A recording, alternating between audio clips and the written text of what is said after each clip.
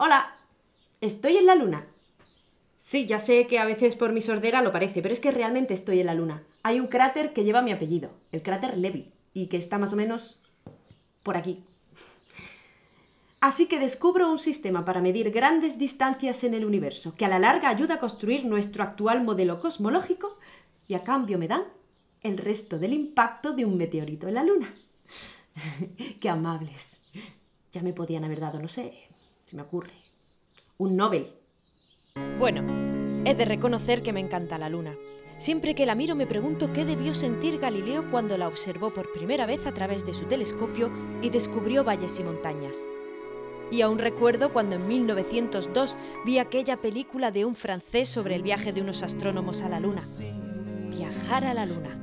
Sí, ya sé que en julio de 1969 la tripulación del Apolo 11 pisó por primera vez suelo lunar y que luego hubo hasta cinco misiones más que lo lograron, la última en 1972, y que de paso trajeron a la Tierra casi 400 kilos de muestras lunares. Pero ¿por qué no hemos vuelto? Seguramente hay muchas razones, pero una importante es esta. Este es el presupuesto de la NASA de las últimas décadas, y este pico corresponde al programa Apolo.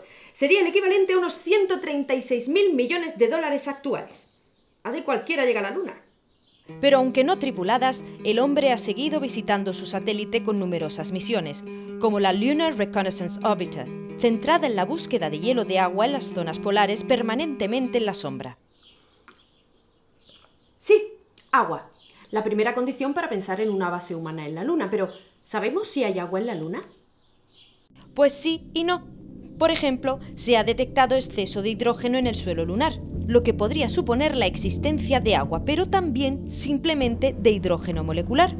También hay presencia del grupo OH, oxígeno e hidrógeno, componentes básicos del agua, pero de nuevo no se puede afirmar que correspondan a la presencia de agua y en cualquier caso estaríamos hablando de cantidades inferiores a las del desierto más seco de la Tierra.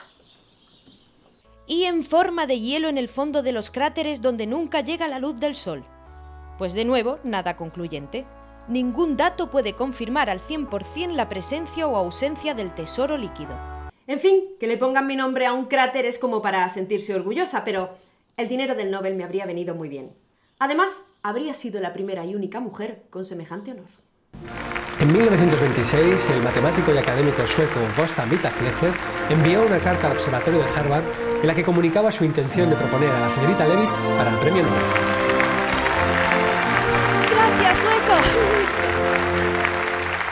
Desgraciadamente, esa carta llegó tarde. Vale, a ponerse en órbita.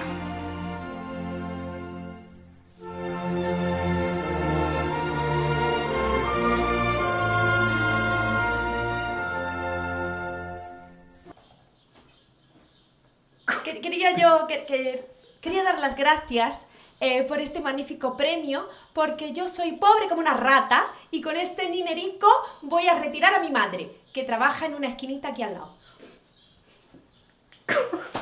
¿Usted cree que vamos a poner eso en algún momento?